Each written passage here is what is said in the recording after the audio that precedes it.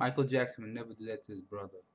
the bodyguard is lying.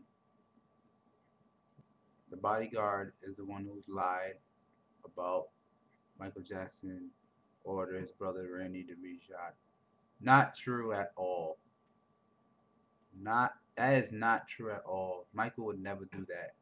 Michael would never do that. He would never he would never stoop that low to do that. You know, Michael never would never do that to his family. Never. The bodyguard is lying.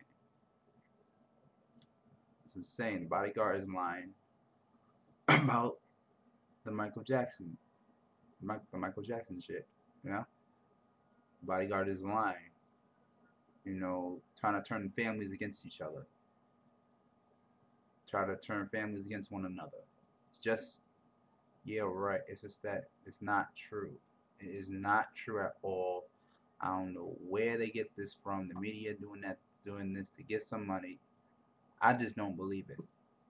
Personally, I think that Michael, that um, Michael Jackson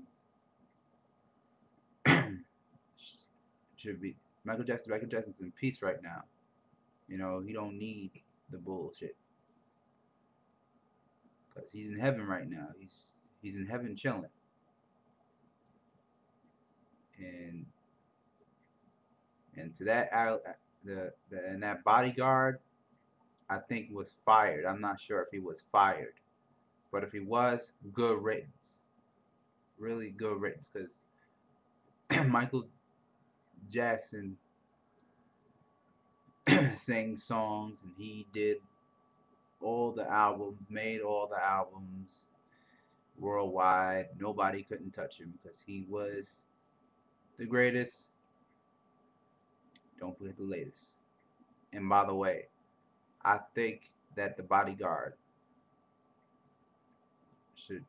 I think the ex bodyguard should should like shut the fuck up and stop telling lies. And that's all I have to say. And peace out and holla. I'm just saying the bodyguards, you'll be lying. They just be lying about accusations like that.